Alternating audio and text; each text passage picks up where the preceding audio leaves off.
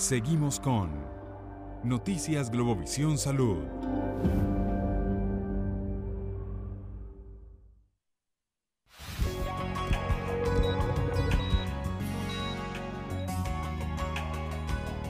4.44 minutos de la tarde continuamos con más de Noticias Globo Visión Salud. En el día de hoy vamos a estar hablando sobre cómo mejorar el rendimiento físico y para ello ya tenemos al especialista acá en nuestro estudio, Juan Carlos Méndez, médico cirujano, especialista en medicina anti-envejecimiento. Buenas tardes, doctor. Bienvenido a Noticias Globo Visión Salud. ¿Qué tal? ¿Cómo te va?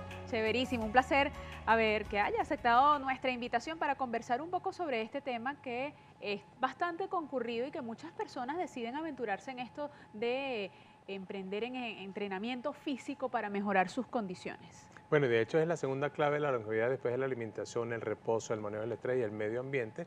Por lo tanto, hay que estar muy bien preparado para hacer una actividad física en la cual le saques el mayor provecho a tu aparato cardiovascular y el músculo esquelético, que son los que más trabajan en este caso. ¿no? Indirectamente también nuestro sistema inmunológico, sistema nervioso, sistema endocrino, también es importante em, preparar nuestro organismo para que, por supuesto, tengamos mayor rendimiento físico tanto en deportista como en excursionista, ¿no? porque muchas veces se ocurren, ocurren lesiones, ocurren alteraciones a nivel inclusive metabólico por Mm, evitar este tipo de preparación. ¿A qué nos referimos cuando hablamos de rendimiento físico?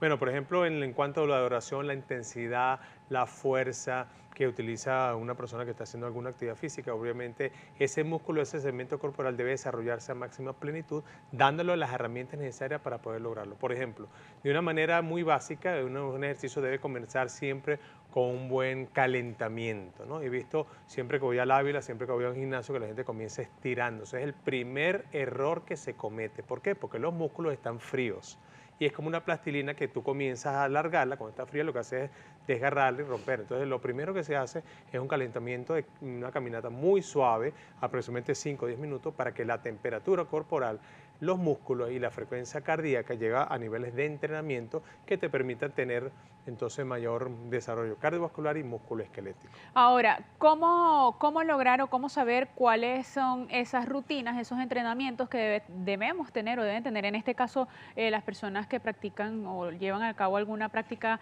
eh, deportiva para mejorar su rendimiento físico?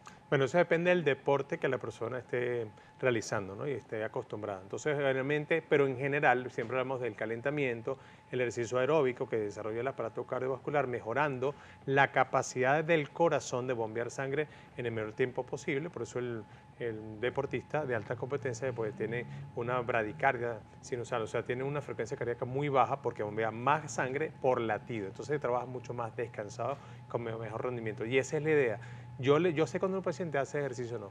Yo le mido el pulso. Si el pulso está bajo, quiere decir que está haciendo ejercicio. Si no, no está haciendo una actividad física regular porque su corazón no se está remodelando hacia esa exigencia que le estamos dando al organismo. Básicamente tiene que ver por esa razón. Eso es correcto.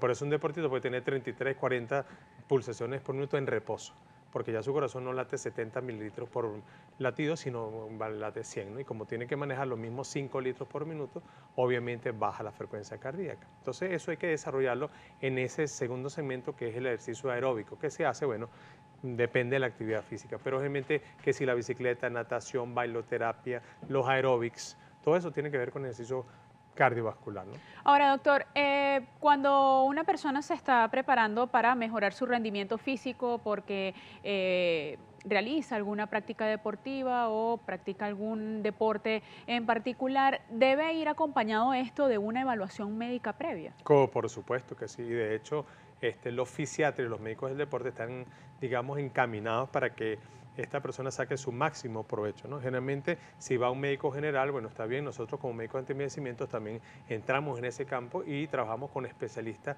en ese campo para que podamos mm, sacarle mayor rendimiento físico a esta persona. De hecho, tenemos, por ejemplo, eh, grupos de equipos de fútbol que le damos todas estas eh, em, asesorías, digamos, profesionales para que tengan una alimentación adecuada, para que se hagan ciertos tratamientos complementarios como sueros de acondicionamiento físico que aumenta la capacidad de producir energía la célula de parte de la mitocondria, que es la fábrica de esa molécula que se llama el ATP. Eh, la cámara hiperbárica es muy importante para mejorar la oxigenación de todos los tejidos. utilizamos la hidroterapia ionizante para sacar acidosis láctica, que realmente se va acumulando en el tiempo. Es decir, vamos preparando ese terreno para el desarrollo de ese deporte o de esa actividad o de esa excursión que las personas quisieran tener sin, para evitar las lesiones y este, mejorar pues, su capacidad de, disfrutar pues, de la actividad que está realizando. ¿Qué diferencia hay entre ese acondicionamiento físico que se eh, le da a una persona que habitualmente practica deportes o que habitualmente participa de excursiones a una persona que desea iniciarse desde cero? Bueno, siempre debemos comenzar desde lo básico, ¿no? Realmente un calentamiento, la caminata es lo más básico que existe, o sea, caminar es una actividad que es bastante interesante porque te comienza a ir acondicionando. Pero una vez que ya ese caminar ya no está haciendo el efecto de remodelación, mm, recordemos que el ejercicio es un estrés fisiológico y que de hecho de una manera moderada pues ayuda a que el organismo vaya adaptándose a esas necesidades cardiovasculares y musculoesqueléticas. Por lo tanto, la caminata pues es inicial, pero después tiene que haber un, o se pone un peso, o se pone un poquito más carga, o sube una pendiente, o sea, hay que ir aumentando la carga progresivamente de acuerdo a esa frecuencia cardíaca de entrenamiento y de acuerdo a su edad biológica. Cada persona tiene una frecuencia cardíaca de entrenamiento por su edad cronológica y su edad biológica. Entonces adaptamos su velocidad, porque no puede ir a la velocidad del, del personal, del entrenador, porque el entrenador ya está acondicionado a esa actividad física regular, pero una persona común y corriente no puede ir a la velocidad del entrenador porque se lesiona, se oxida. Entonces estas personas que tienen eh, sobreentrenamiento es peor que la falta de entrenamiento y porque produce la oxidación y por eso tú ves que muchas personas, sobre todo maratonistas, que están acostumbrados después de las dos horas que no toman suficiente antioxidantes, terminan oxidados con lesiones articulares, con artritis, con artrosis, producto de estas lesiones a largo plazo. Ahora, este plan de entrenamiento para mejorar el rendimiento físico también debe ir acompañado de un plan nutricional. Mira, por supuesto, una persona que haga ejercicio sin tomarse, por ejemplo, un preparado que nosotros recomendamos antes de hacer ejercicio, que básico es café. La cafeína tiene grande valor nutricional en cuanto a la tonificación del corazón, frecuencia cardíaca, es vasodilatador, tonifica el cerebro para que te prepare para eso, además que saca la grasa.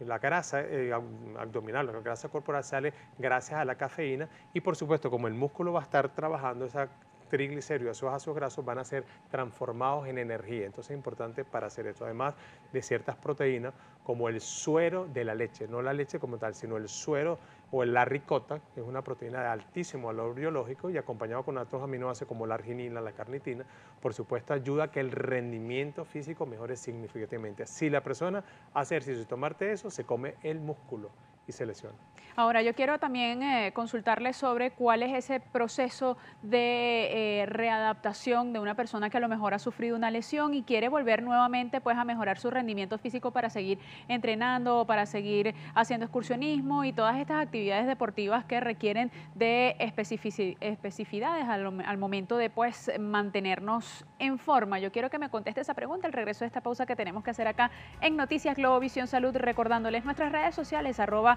salud-gb